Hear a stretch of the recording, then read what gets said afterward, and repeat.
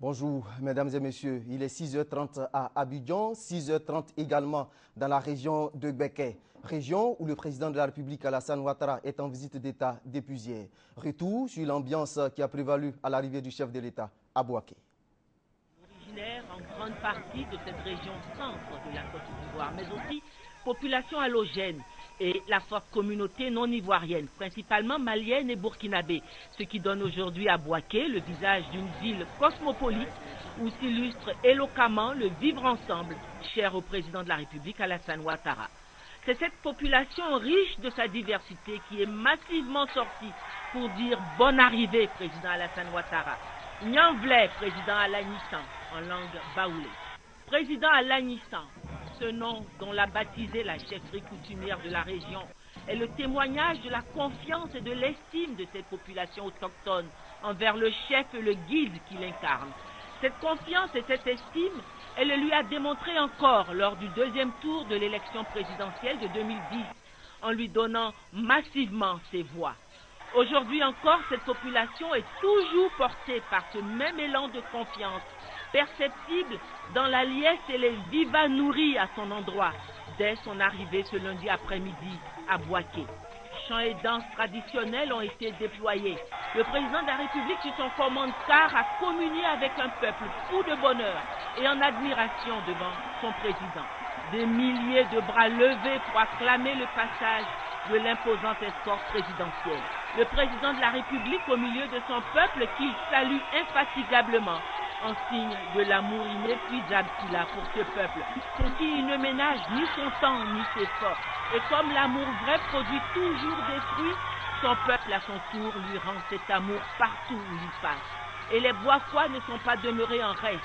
La mobilisation fut un record. Depuis l'aéroport jusqu'au centre-ville et jusqu'à la résidence du président de la République, des milliers et des milliers de personnes dans une liesse totale.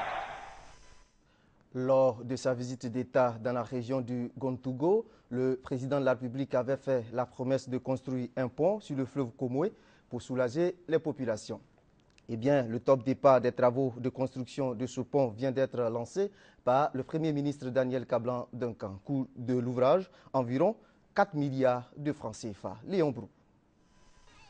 16 mois pour la fin du calvaire d'au moins 3 millions de personnes au nord-est et au centre toutes des usagers de l'axe Tanda-Boaké via la Comoé. La construction du pont pour faciliter la traversée de ce fleuve a démarré avec ce premier coup de pioche, un acte de l'État de Côte d'Ivoire représenté par le Premier ministre Daniel Cablan Duncan et la Banque mondiale à travers Abdel Kamil. L'infrastructure indique le maître d'œuvre va assurer le développement de 11 départements dans quatre régions, Ambol, Beke, Ifou et Gontougo.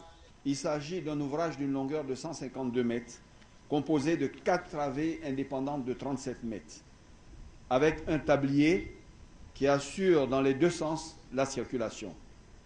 Il comporte une partie roulable de 7,50 mètres de largeur et deux trottoirs de 1,25 m de largeur utile. Il permettra de relier plus facilement le nord-est au centre de la Côte d'Ivoire et favorisera les échanges entre l'un des principaux bassins de production de l'igname, de la noix de cajou, du coton, etc. vers les principaux marchés de Boaké d'Abidjan. 3 milliards 900 millions de francs CFA, le coût du pont de la Comoé est entièrement financé par la Côte d'Ivoire. Sa réalisation entre dans le cadre du projet de renaissance des infrastructures de Côte d'Ivoire, précis, un projet conjointement financé par l'État ivoirien et la Banque mondiale pour désenclaver les zones rurales difficiles d'accès. Le Premier ministre le dira, ce pont constitue une réponse aux promesses faites par le président Alassane Ouattara aux populations lors de sa visite d'État de 2012 dans le district du Zanzan. Cet acte, qui est l'expression du respect de la parole donnée, est aussi un vecteur de renforcement du contrat de confiance que M. le Président de la République a conclu avec le peuple ivoirien en général, avec les populations des régions du Gontougo et de l'Ifou en particulier. L'objectif visé par le président de la République est de faire en sorte qu'aucune région de Côte d'Ivoire ne soit en marge du développement.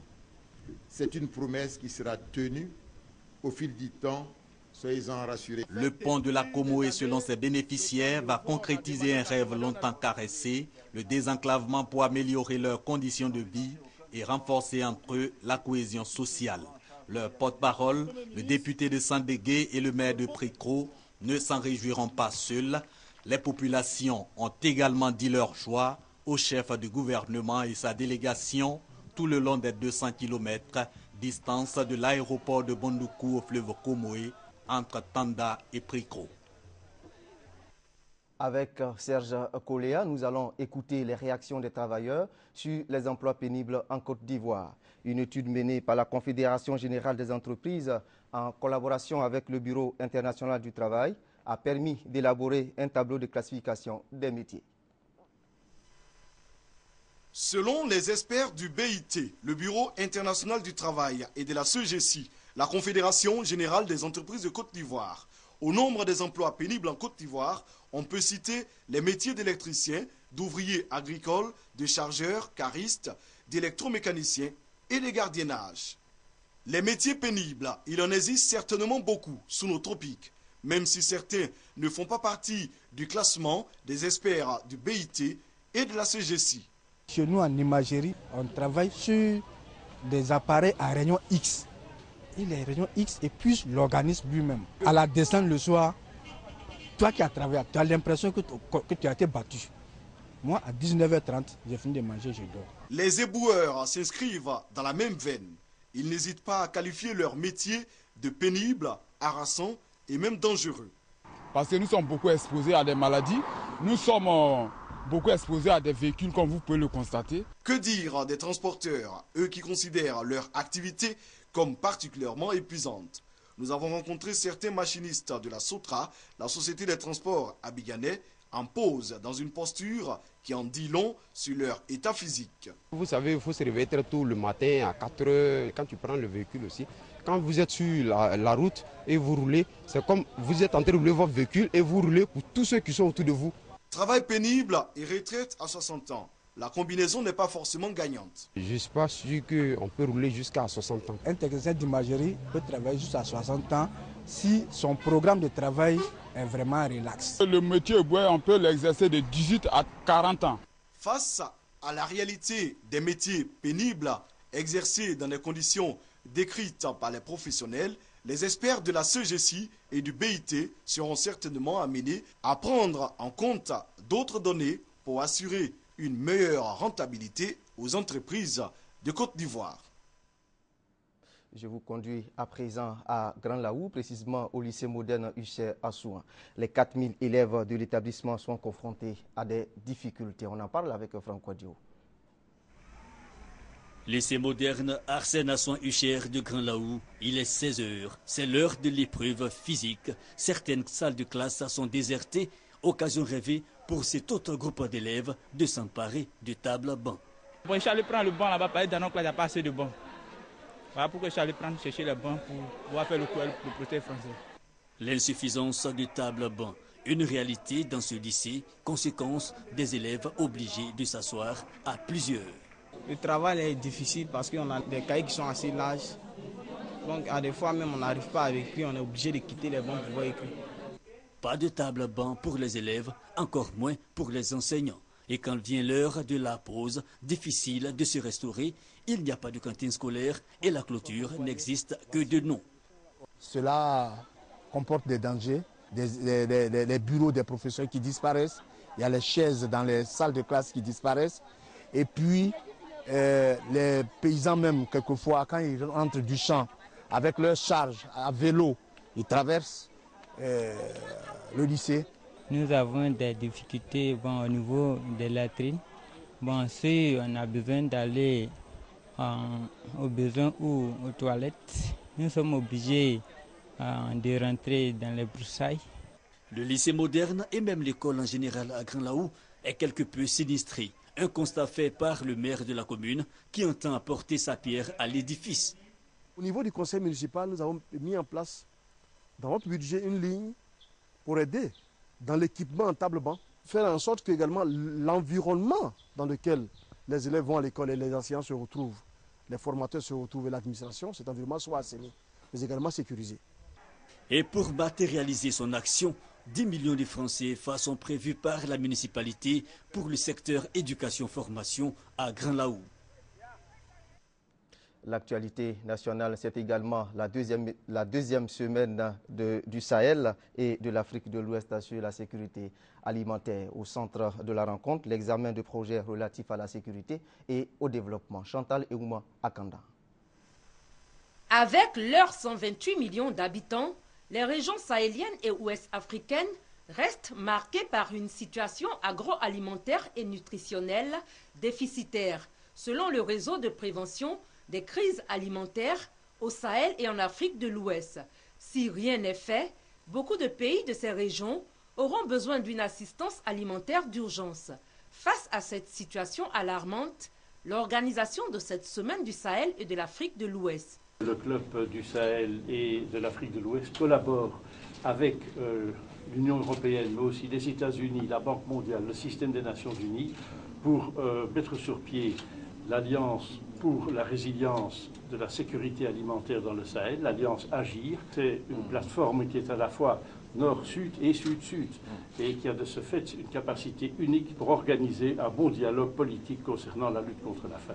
Cette rencontre est également l'occasion de faire le diagnostic de la situation agricole, alimentaire et nutritionnelle, dans la perspective de proposer des mesures concrètes de prévention de crise alimentaire. Il est désormais possible d'éviter les crises alimentaires aiguës qui avaient eu des effets dramatiques sur les populations sahéliennes, souvenez-vous, dans les années 70-80. Notre région, Afrique de l'Ouest et du Sud, dispose désormais d'une architecture complète, politique et technique à même de mettre en œuvre son ambitieux agenda de sécurité alimentaire et nutritionnelle. En marge de cette semaine de sécurité alimentaire, le ministre de l'Agriculture s'est entretenu avec le représentant de la Banque mondiale à cette rencontre. Il a été question, au cours de leur entretien, de redynamiser le dialogue sur les réformes agricoles. À l'étranger, en Pologne, l'on note des avancées, prometteuses sur le climat après la conférence internationale sur le changement climatique à Varsovie. Après avoir frôlé l'échec, la conférence de Varsovie sur le climat a finalement débouché sur un accord in extremis. Les négociations ont buté sur l'habituel clivage nord-sud. La Chine et l'Inde ne veulent pas être soumises aux efforts demandés aux pays industrialisés. Ces deux géants économiques, responsables de 50% des gaz à effet de serre, ont obtenu de pouvoir éviter tout engagement contraignant. Les pays du Sud devront proposer début 2015 des réductions, mais sur la base du volontariat. Les pays industrialisés qui ont une responsabilité historique dans le changement climatique doivent continuer à être à l'avant-garde de ce combat. Mais nous n'arriverons pas sans la participation de tous. Chaque pays, petit ou grand, chaque secteur d'activité, chaque ville doit contribuer à cette lutte, sinon nous ne serons pas capables de réduire suffisamment nos émissions de gaz à effet de serre. Seule annonce concrète, le fonds d'adaptation au changement climatique sera abondé à hauteur de 100 millions de dollars par les pays européens. Une somme jugée très insuffisante par les pays pauvres qui vont devoir dépenser des milliards de dollars chaque année pour résister au changement climatique, comme le dit un récent rapport des Nations Unies. Le temps presse, nous ne pouvons plus attendre. Ces discussions qui se poursuivent d'année en année ne rendent pas service à l'Afrique. Nous avons besoin d'action, la maison brûle, nous devons agir maintenant. Un accord minimal, mais qui laisse espérer un traité plus ambitieux en 2015 à Paris. Ce traité international concernera alors tous les pays et aura pour objectif de limiter à 2 degrés l'élévation des températures d'ici à la fin du siècle. Je rappelle que le président de la République, Alassane Ouattara, est en visite d'État dans la région de Beke depuis hier. À son arrivée à Boaké, le chef de l'État a lancé un appel à la réconciliation et au travail. Ce mardi, un conseil des ministres se tiendra à la préfecture de Boaké. Après ce conseil, le président Alassane Ouattara se rendra à Sakassou pour son premier meeting. La rédaction reviendra largement sur les activités du chef de l'État dans la région de Beke. Et c'est la fin de cette édition. Merci de l'avoir suivi bonne suite de programme sur RTI 1. Bonjour chez vous.